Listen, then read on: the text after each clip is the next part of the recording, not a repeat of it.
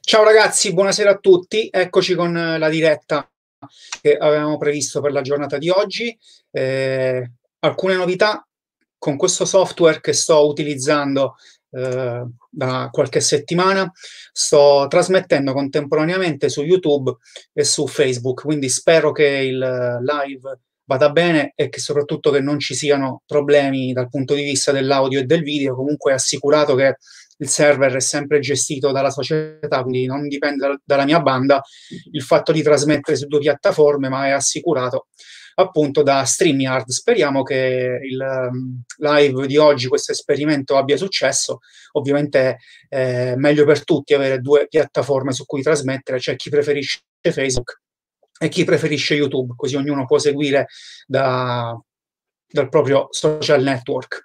Insomma, bene, ho preparato la diretta di oggi, dove ovviamente alla luce di quello che è successo nelle ultime ore, negli ultimi giorni, ci concentreremo esclusivamente sul Bitcoin, quindi mh, mm, non faremo un'analisi di mercato a ampio spettro come faccio solitamente, ma appunto ci concentreremo proprio sull'analisi tecnica e fondamentale del Bitcoin. Quindi vi inizieremo con la parte tecnica, vi andrò a condividere il uh, grafico del Bitcoin, eh, andremo ad analizzare quelli che sono i livelli di prezzo chiave più importanti da monitorare. Eh, poi passeremo alla parte fondamentale, lì abbiamo molta carne al fuoco, non ultimo il report che è stato diffuso da Bloomberg, un'analisi approfondita del Bitcoin e del mercato cripto che dobbiamo assolutamente analizzare con attenzione perché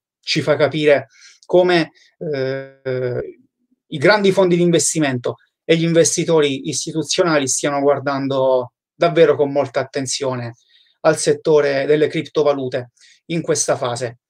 Eh, ragazzi, eh, datemi un feedback nei commenti sull'audio e il video, leggo già audio e video ok, aspettiamo un altro paio di feedback così quando sono sicuro che tutti mi sentite e vedete bene possiamo partire. Quindi come vi dicevo, oggi ci concentreremo sul Bitcoin. Eh, appena mi date il là, audio e video perfetti, perfetto, è proprio quello che volevo sapere partiamo. Eh, quindi oggi facciamo un po' mm,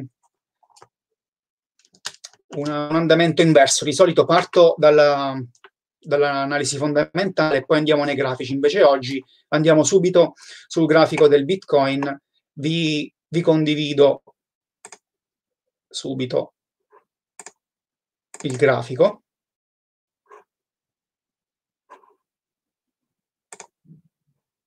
Ecco, qui credo che si veda molto bene, quindi a questo punto ve lo espando a tutto schermo.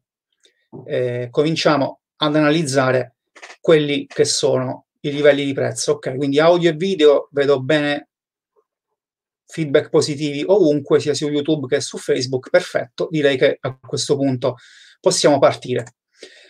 Allora, vedete, vi ho evidenziato Intanto ho utilizzato il grafico a quattro ore perché eh, ci dà la possibilità sia di scendere nei dettagli, però allo stesso tempo abbiamo anche l'opportunità di mh, avere un quadro d'insieme piuttosto ampio. Allora, la prima particolarità che abbiamo sicuramente visto ieri, ho anche fatto vari post sul gruppo Facebook e sul mio canale Telegram Bitcoin Facile, è il breakout di R1, questa resistenza qui, che vedete già sostanzialmente da inizio marzo ha contenuto la quotazione, ha respinto in più occasioni il Bitcoin, eh, quindi sicuramente questo breakout è significativo dal punto di vista della price action di breve termine. Possiamo notare infatti come mh, già qualche giorno prima se osserviamo questa trend line qui gialla, che adesso ovviamente non posso stringere il grafico, però eh, unisce i massimi decrescenti dal top di metà febbraio 10.500 dollari. Quindi tutta questa serie di massimi decrescenti, compreso questo tra il 6 e il 9 aprile, eh, la trend line è stata violata qui il 16 aprile e questo è stato già un primo step molto importante per il Bitcoin perché ha lasciato presagire sicuramente un, una forza importante, una prova di forza importante del Bitcoin che è andato a violare il primo livello di resistenza statico dato appunto dalla trend line che univa i massimi decrescenti da metà febbraio.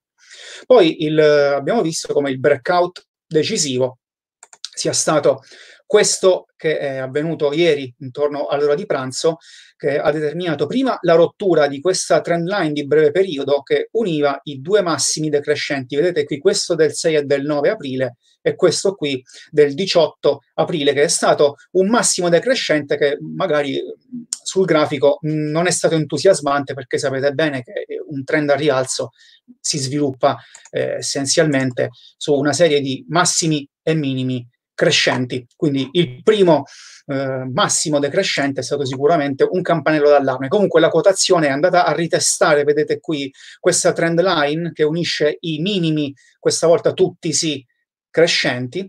Il, la trend line ha supportato efficacemente la quotazione, dopodiché c'è stato il breakout molto importante e attualmente il Bitcoin sta cercando di consolidarsi sopra i 7.500 dollari. Un'altra valutazione che dobbiamo fare è sicuramente questa in merito alla rottura del trading range in cui si è mosso il Bitcoin dal primo aprile. Ve l'ho evidenziato qui, vedete la, questa linea verde sui 6.600 dollari e la resistenza R1 a 7.450. Questo è stato esattamente il trading range all'interno del quale il Bitcoin si è mosso per tre settimane abbondanti. Eh, all'interno di questo trading range vedete come questa serie di minimi crescenti ci faccia proprio mh, vedere come il Bitcoin stia sostenendo una crescita lenta ma costante. E questo è sicuramente importante. Non scordiamoci che siamo con uh, l'halving alle porte e quindi ragionevolmente uh, andremo incontro a molto hype sul mercato, ma questo poi lo vedremo nella parte fondamentale. Quello che adesso voglio analizzare con voi velocemente è lo scenario di breve termine, quindi da qui ai prossimi giorni, al massimo da qui a sette giorni. Quindi lo scenario verosimile nel, nel, corso del fine settimana è un tentativo di consolidamento su questa area di prezzo, quindi un um, Bitcoin nel range 7.800-7.500.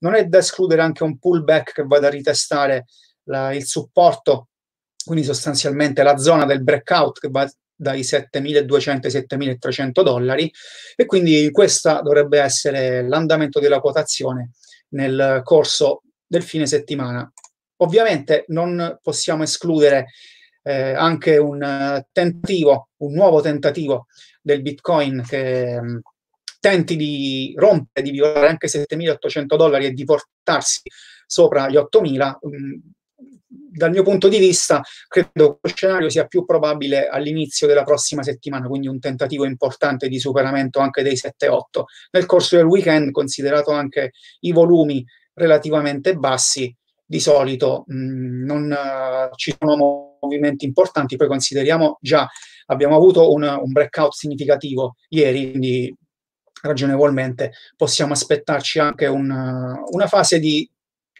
di, consolidamento dove i rialzisti appunto tendono più a consolidare il livello guadagnato che non a spingere ulteriormente la quotazione a rialzo. Comunque questi sono i due scenari di breve termine. Eh, ripeto, dal mio punto di vista è più ragionevole aspettarsi nel corso del weekend un tentativo di consolidamento sugli attuali livelli statici, però non è da escludere, ripeto, che ci sia un tentativo di breakout sui 7-8. L'hype sul mercato è veramente molto alto e adesso passiamo appunto a vedere quella che è l'analisi fondamentale del Bitcoin. Eh, vi evidenzio quelli che sono i punti principali che dobbiamo considerare con molta attenzione. Allora, intanto, come ho anche scritto nella mia analisi quotidiana sul Telegram Bitcoin Facile, il um, breakout di ieri è una conferma ulteriore della decorrelazione lenta ma costante che il Bitcoin sta avendo eh, in riferimento ai mercati azionari. Ricordate che nel, da metà marzo, da quando c'è stato il crash del Bitcoin, ma di tutti i mercati sostanzialmente sull'onda di diffusione del coronavirus e sulla successiva crisi finanziaria che ha innescato attraverso i lockdown in tutti i principali stati. Bene, in quei giorni ovviamente il Bitcoin, ma come tutte le asset class del panorama finanziario, si sono mosse sostanzialmente all'unisono, mentre abbiamo visto come nelle ultime settimane, attraverso quella formazione di minimi crescenti, il Bitcoin abbia mostrato una forza relativa molto importante, eh, un tentativo quindi di andarsi proprio a decorrelare dagli indici azionari che invece aveva seguito, ma ripeto, quella è stata una dinamica di tutti gli asset mh, dall'inizio di marzo fino all'acme um, del crash che c'è stato a metà marzo. Eh, un altro aspetto che dobbiamo considerare con molta attenzione è l'hype generata dall'halving. Come già avevo scritto qualche giorno fa, è sicuramente importante vedere eh, e monitorare con molta attenzione quello che è il progresso del, dell'hype generato dall'halving. Ormai siamo a tre settimane, ci sono i calcoli che sono stati fatti in base alla media dei blocchi che vengono minati ogni 10 minuti, ci parlano di un halving eh, indicativamente tra 18 giorni. Quindi questo è un altro elemento che dobbiamo valutare con molta attenzione. Eh, Inoltre, la capitalizzazione delle stable coins in continuo aumento nelle ultime settimane, abbiamo visto come nel giro di 20 giorni circa la capitalizzazione totale delle stable coins sia passata dai 6 miliardi ai 9 miliardi, con Tether ovviamente che domina la, la, fetta di mercato relativa alle stable coins. Questo ovviamente ha due mh, chiavi di lettura. La prima è quella mh, che i traders, gli investitori, stanno aumentando le proprie dotazioni di liquidità all'interno degli exchange, proprio per sfruttare il movimento a rialzo che ormai eh, molti si aspettano proprio a rialzo dell'halving. L'altra considerazione che dobbiamo fare è quella sul fatto che molti investitori, soprattutto magari in quei paesi che stanno soffrendo una fase di crisi monetaria pesante, innescata e amplificata dallo shock dalla crisi del coronavirus, stanno cercando proprio di uscire dal sistema finanziario, di fuggire dal sistema finanziario tradizionale e utilizzano appunto il mercato delle stable coins che consentono di spostare, di far uscire sostanzialmente il proprio capitale dal sistema bancario e portarlo all'interno dell'ecosistema cripto. Eh, quindi eh, l'ultimo aspetto che dobbiamo vedere è quello relativo al sistema finanziario sotto shock della crisi economica innescata dal coronavirus. E abbiamo già detto nelle precedenti dirette come questa dinamica ovviamente comporterà il fatto che le banche centrali inietteranno un fiume di liquidità all'interno del sistema finanziario per evitare che la recessione si trasformi in depressione e questo inevitabilmente eh, amplifica dinamiche come inflazione e svalutazione delle valute fiat e questo ovviamente a beneficio del bitcoin e del mercato delle criptovalute che come sapete dopo l'halving il bitcoin sarà uno dei pochissimi asset forse insieme a loro che garantirà appunto taglio del 50% dell'offerta e allo stesso tempo dell'inflazione che vi ripeto sempre passerà per la prima volta sotto il 2% annuo al eh, momento dell'halving. E a questo punto vi voglio condividere anche questo famoso report di Bloomberg di cui mh, molti stanno parlando negli ultimi giorni e che devo dire ha veramente delle mh, particolarità interessanti che voglio condividere con voi. Ovviamente il report è molto lungo, è in inglese, quindi andremo a fare giusto dei flash. Vi evidenzio io quelle che sono le due parti che a mio avviso meritano di essere attenzionate nel dettaglio. Allora, questo è sicuramente il primo aspetto molto interessante. Qui praticamente Bloomberg ci dice che il Bitcoin, come abbiamo già anticipato nel, nella prima parte della diretta, sta transitando dalla fase eh, bearish dove era mh, correlato allo Standard Poor's 500, qui Bloomberg ovviamente utilizza l'SP500 come benchmark per i mercati azionari, e si sta spostando verso una correlazione più marcata con l'oro per andare proprio a seguire l'oro nel suo eh, prossimo e ipotetico trend a rialzo.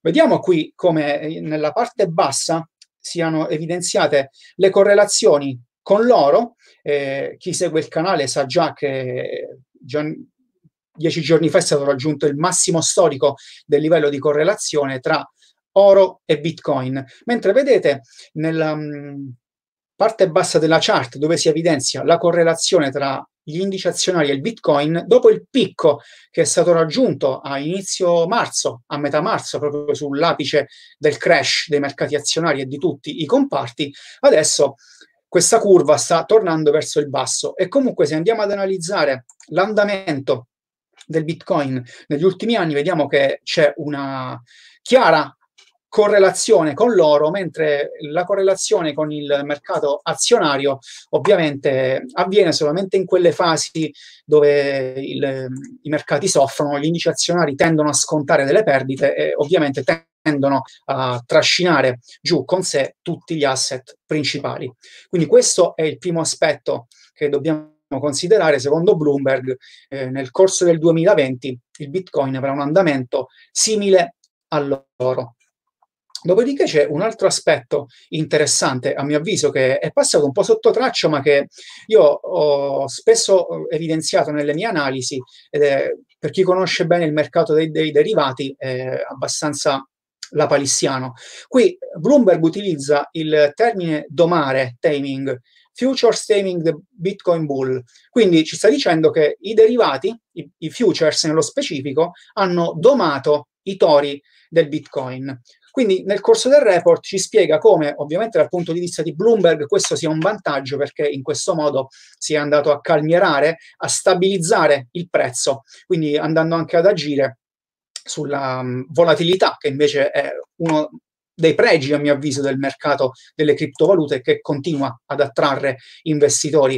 Quindi Bloomberg ci dice che attraverso i derivati e nello specifico i futures sui mercati regolamentari, quindi ad esempio come quelli alla Chicago Mercantile Exchange, la CME, eh, servono proprio a um, stabilizzare i prezzi del Bitcoin e a ridurre la volatilità. Ovviamente allo stesso tempo eh, l'aumento dell'open um, interest, quindi degli investitori istituzionali che operano in queste borse e quindi entrano nel mercato delle criptovalute attraverso i derivati, ovviamente ci mostrano un chiaro interesse degli investitori istituzionali, ma questo lo possiamo evincere chiaramente anche andando a osservare i report che vengono diffusi dal fondo Grayscale, che è un altro fondo mh, riservato agli investitori istituzionali che spesso pubblica questi report con dei focus sulle principali criptovalute, ma anche mh, un report diffuso qualche giorno fa dalla stessa Chicago Mercantile Exchange in collaborazione con l'exchange Bitstamp,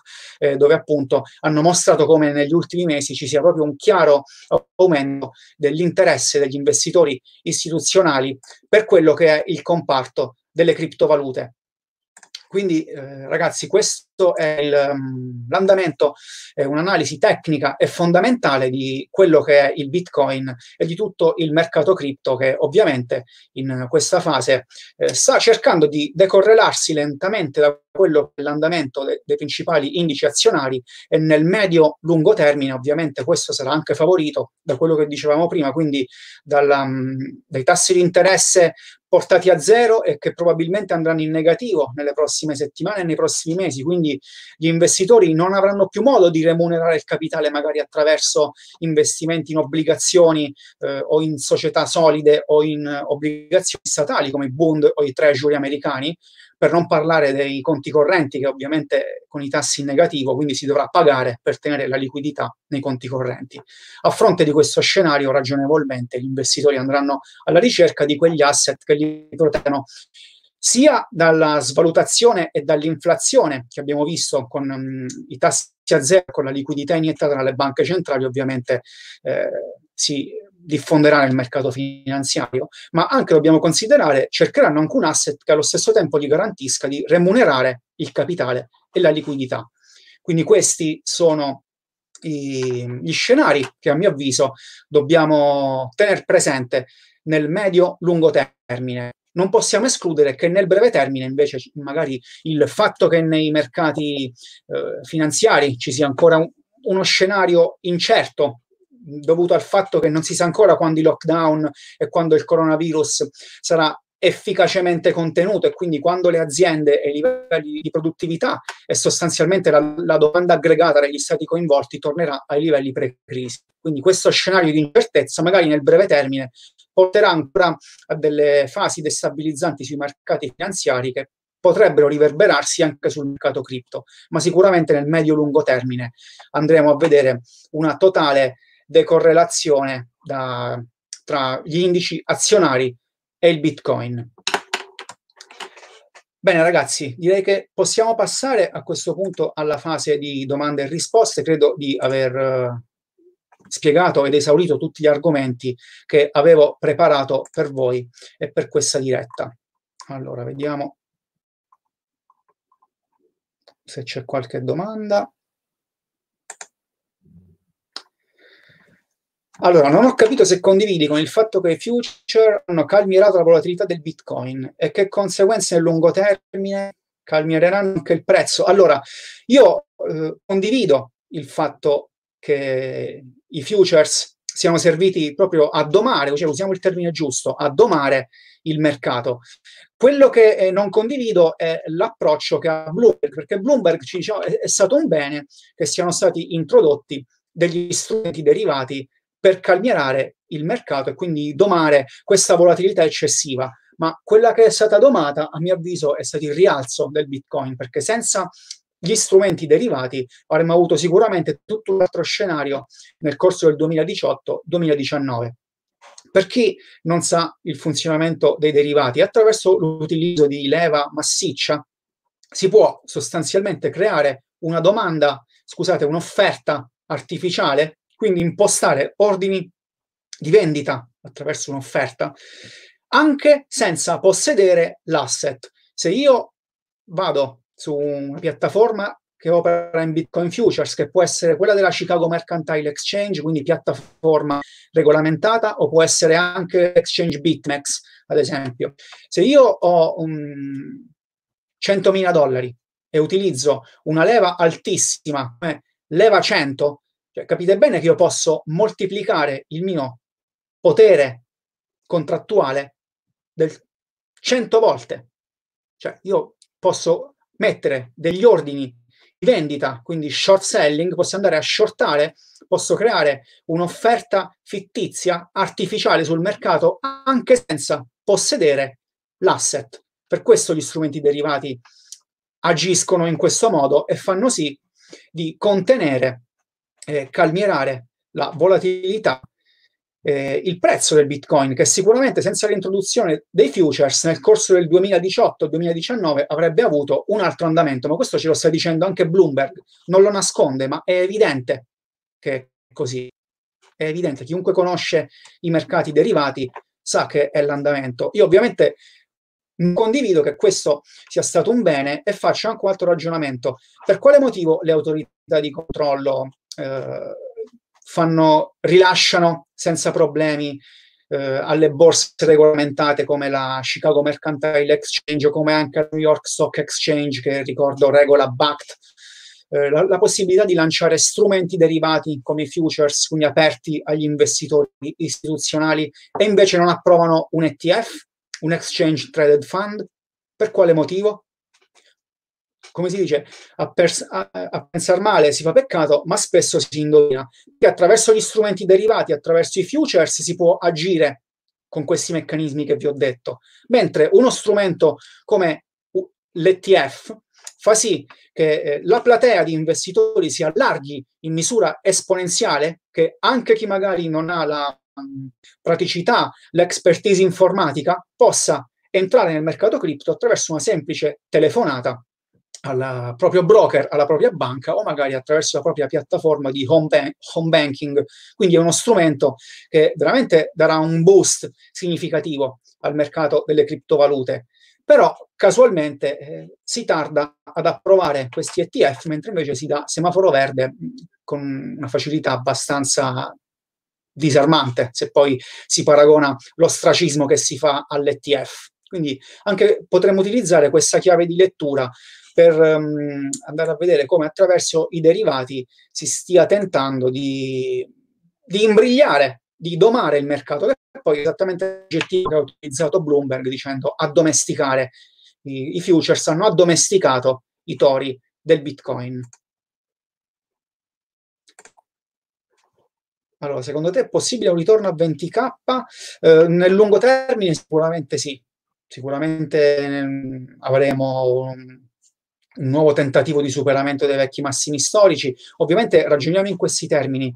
L'halving produrrà i suoi effetti benefici nel lungo termine. Io mi aspetto che avremo il picco del ciclo del nuovo ciclo dell'halving non prima del secondo semestre 2021, quindi parliamo comunque di un anno, un anno e mezzo.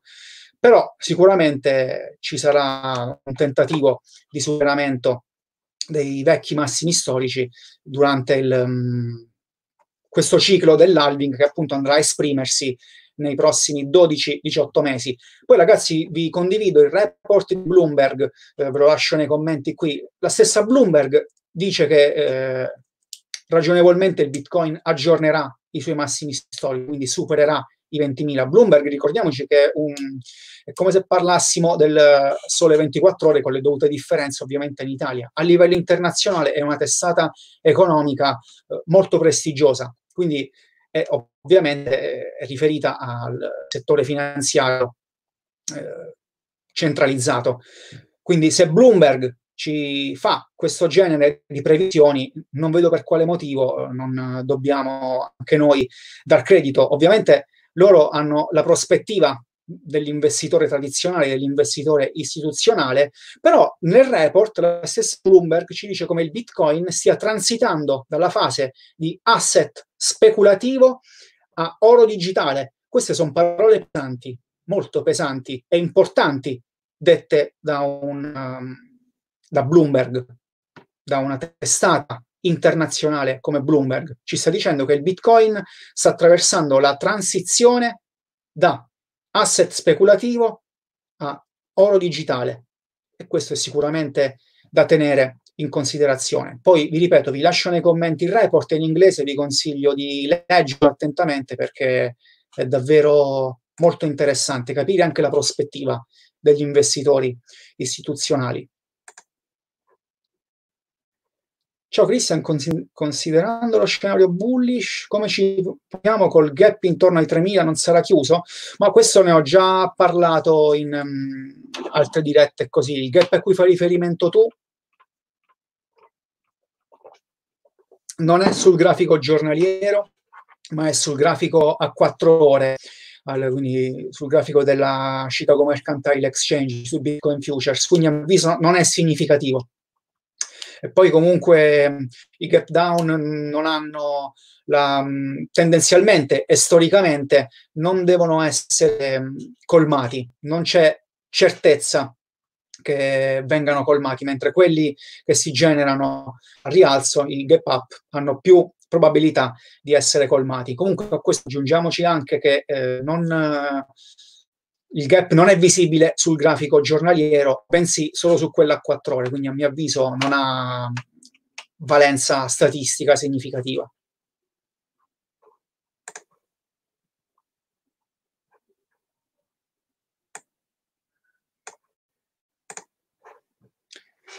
La DeFi potrà essere la scintilla della nuova bull run, anche Coinbase si sta strutturando con DeFi e Oracle. Sì, assolutamente, questo è un altro tassello molto importante. La, attraverso la finanza decentralizzata, come ripeto sempre, tutta quella, popola- quella parte di popolazione mondiale unbanked e underbanked che non ha accesso al sistema finanziario tradizionale. Io vi faccio sempre l'esempio, pensate che negli Stati Uniti 10 milioni di persone hanno un conto corrente e nel mondo si stima che ci siano 3 miliardi di persone con accesso limitato al sistema finanziario. Quindi la DeFi, la finanza decentralizzata, sarà proprio la backdoor per questa parte significativa di popolazione mondiale che finalmente avrà accesso a un nuovo sistema finanziario. Quindi sì, eh, sicuramente sarà una componente fondamentale della bull run e anche di una crescita della curva di adozione delle criptovalute e del Bitcoin Bitcoin, che è l'altro tassello fondamentale che dobbiamo monitorare attentamente. Ricordiamoci sempre quel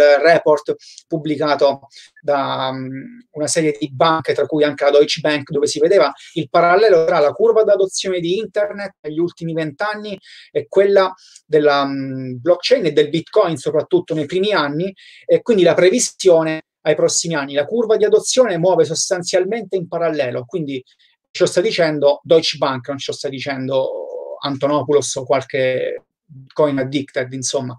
Quindi se veramente quella curva manterrà quell'incidenza, nei prossimi anni dobbiamo aspettarci un livello di adozione veramente importante.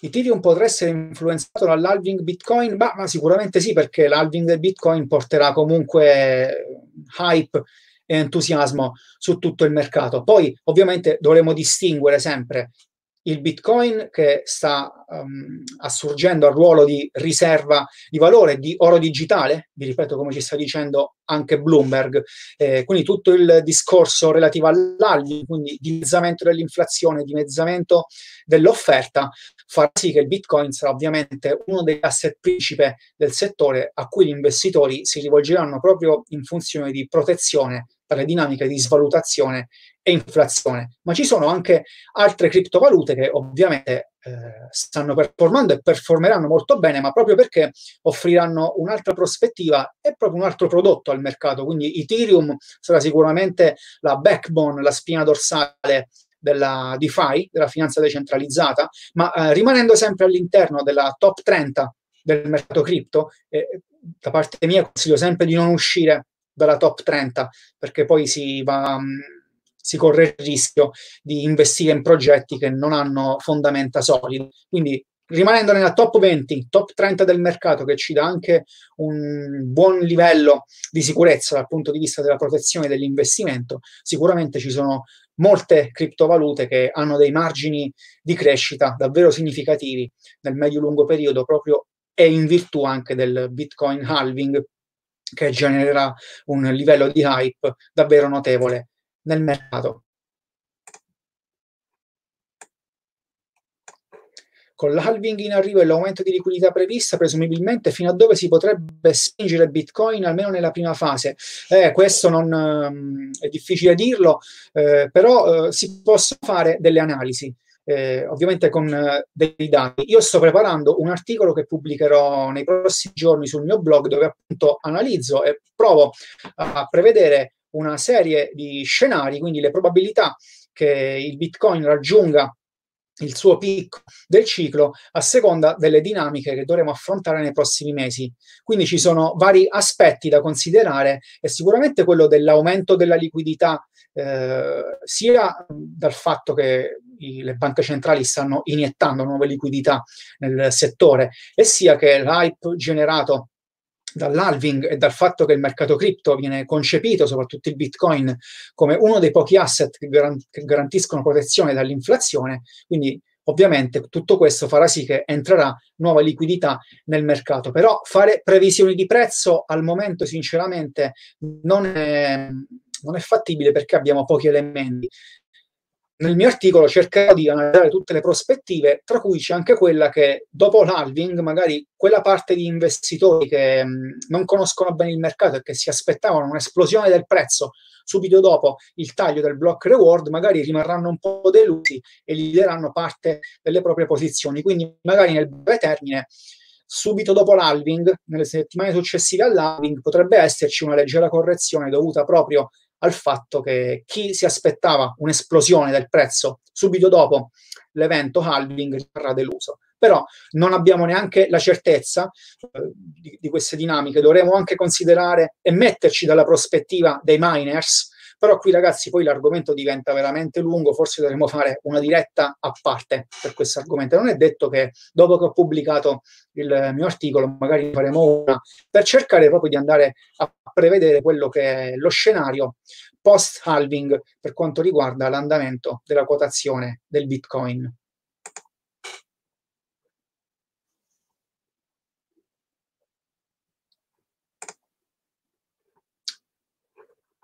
Ciao Cristian, volevo farti una domanda un po' forse fuori discorso. Indicativamente mi sai dire qua, quanto è lo spread tra mercato tradizionale e mercato OTC su Bitcoin? Allora, in realtà non c'è uno spread. Considera che sul mercato per the counter spesso eh, sono due controparti a mettersi d'accordo e mh, la piattaforma è il desk che fa da intermediario. Quindi poi in realtà lì durante la trattativa eh, si può creare chiaramente uno spread tra lo spot market e quello che avviene OTC. Considera che generalmente parliamo di transazioni sopra i 100k, i 100.000 dollari, ma spesso e volentieri sopra il milione di dollari.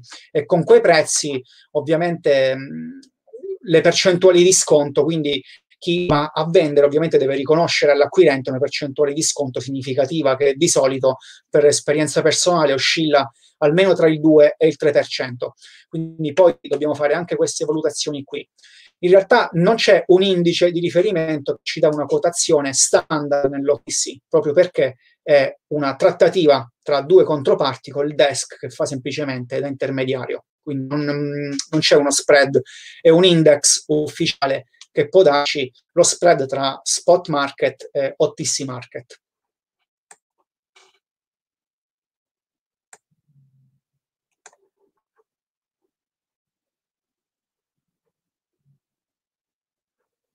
Vediamo le ultime due domande, poi chiudiamo.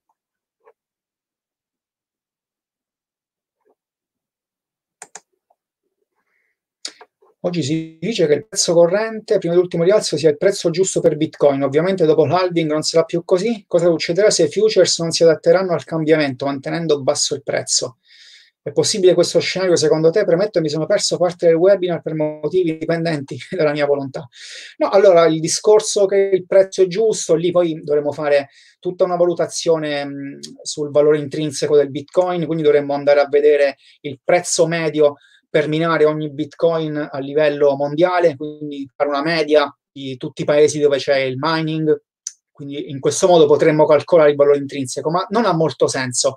E neanche mh, concentrarci troppo sul fatto se i futures si adatteranno. Principalmente i futures sono degli strumenti derivati in cui investono investitori istituzionali, grandi fondi di investimento e chi ha una disponibilità economica importante.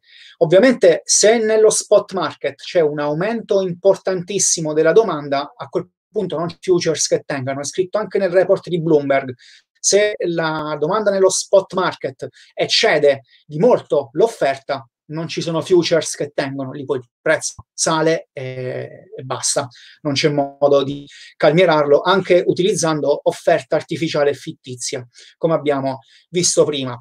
Quindi quello che dobbiamo considerare bene è vedere come le dinamiche che abbiamo elencato nella prima parte del webinar, quindi sia dal punto di vista tecnico che fondamentale, faranno sì eh, che aumenti la domanda di Bitcoin sul mercato spot e questo ovviamente poi trascinerà con sé anche il mercato dei derivati.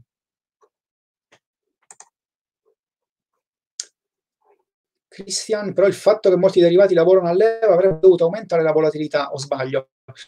Ma eh, allora il discorso è ovviamente se tu mi fai ragionamento partono degli ordini come abbiamo fatto esempio prima, leva 100 con un uh, margin wallet eh, sostanzioso da centinaia di migliaia di dollari, tendenzialmente dovrebbero aumentare la, la volatilità e magari nel breve termine è così.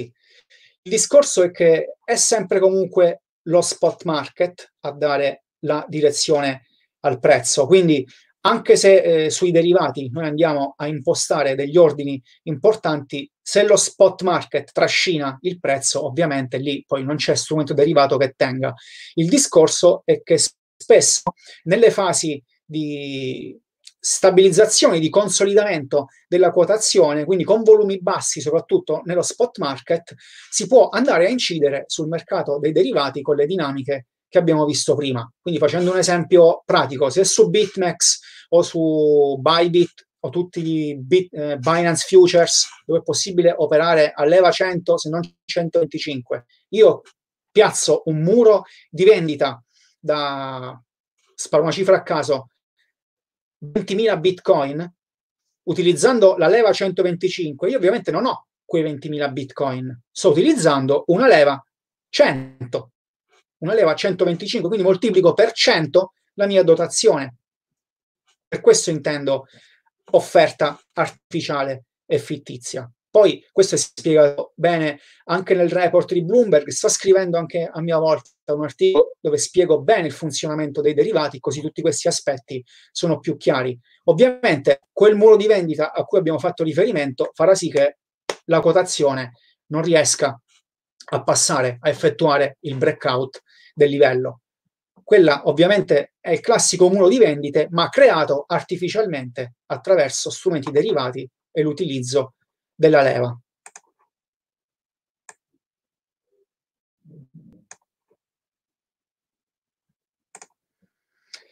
Gli investimenti a lungo termine non va più come strategia se ci sarà sempre questa volatilità che ne pensi? E poi un'altra domanda, ma Ethereum non ha più quel potere di prima e con gli smart contract. Allora, l'investimento a lungo termine, dal mio punto di vista, è sempre il migliore per il Bitcoin, però è anche opportuno integrarlo con il trading perché se noi possiamo guadagnare dalle oscillazioni del mercato, perché non farlo? Avremo due portafogli, uno di lungo periodo con il 50% del capitale e l'altro 50% del capitale dedicato al trading per sfruttare tutte le oscillazioni che un mercato estremamente volatile come quello cripto offre all'investitore e al trader esperto che può sfruttare a proprio vantaggio tutti i trend secondari e di breve termine, magari anche all'interno di un trend primario al rialzo. Ethereum eh, non è questione di potere, ovviamente nel 2017-2018 ha sfruttato il fatto che era la blockchain principe dove tutte le initial coin offering implementavano la propria offerta. Ovviamente adesso la situazione è un po' diversa, però comunque Ethereum si sta proponendo come spina dorsale eh, della finanza decentralizzata, abbiamo visto. Ok ragazzi, l'ultima domanda, poi chiudiamo che siamo arrivati alle sette e un quarto, tre quarti d'ora, che è il tempo che voglio far durare i webinar proprio per far sì che siano fruibili da tutti e non diventino poi troppo pesanti. Allora, secondo te è possibile adesso che vada a cercare un higher low sul settimanale se, eh, testando i 7-8 immagino come top per ora? Uh, sì, potrebbe essere. Io più che mh, mm, adesso cercare di mh, mm, anticipare il mercato, perché in questa fase comunque eh, sì, di calma piatta, però la volatilità è sempre dietro l'angolo. Abbiamo visto anche come sui mercati azionari, eh, sui mercati delle commodities, addirittura il petrolio si è andato in negativo sui futures di maggio qualche giorno fa, poi sullo spot market si è fermato intorno ai 3-4 dollari al barile.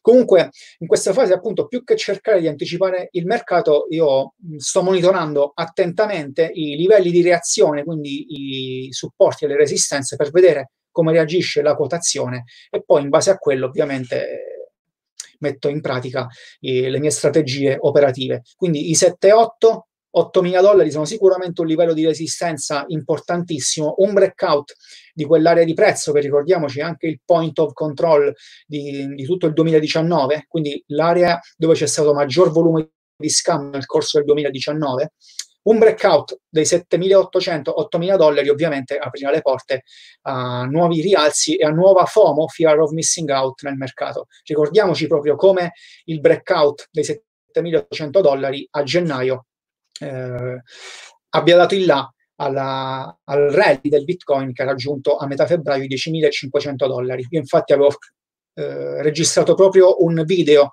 a inizio gennaio su YouTube dove avevo scritto se il Bitcoin rompe questo livello sono bullish e quel livello era esattamente 7.000 e 800 dollari, quindi da monitorare con molta attenzione. Ovviamente, come ho già detto nella prima parte, non è da escludere che nel tentativo di consolidamento sui 7,5 il Bitcoin magari eh, abbia una correzione, un pullback sul supporto in zona 7,2, 7,3. Comunque in questa fase è sempre opportuno monitorare con attenzione i livelli di prezzo e non cercare di anticipare il mercato. Va bene ragazzi, siamo giunti al termine del live. Spero di avervi fornito tutti gli elementi utili per um, preparare la vostra strategia di trading o anche di, per sviluppare il vostro piano di accumulo, quindi per un investimento di lungo periodo, in uh, virtù del fatto che siamo con uh, halving alle porte, eh, quindi nel medio-lungo termine ovviamente il ciclo dell'halving del 2020 ovviamente svilupperà tutti i suoi effetti benefici sul mercato. Uh, ci aggiorniamo nel canale Telegram Bitcoin Facile, nel, qui nel gruppo Bitcoin Trepere, nel canale YouTube anche dove posto regolarmente dei video di aggiornamento. Eh, ovviamente nei prossimi giorni faremo anche un'ulteriore diretta per andare a vedere quello che è stato l'andamento del Bitcoin e del mercato nel corso del fine settimana e andare ad analizzare gli, gli, spunti e gli elementi che dobbiamo considerare nella nostra operatività a lungo termine e a breve termine. Bene ragazzi, buon fine settimana a tutti, ci aggiorniamo nel gruppo e ci vediamo la prossima settimana per una nuova diretta. Ciao a tutti e buona serata, alla prossima!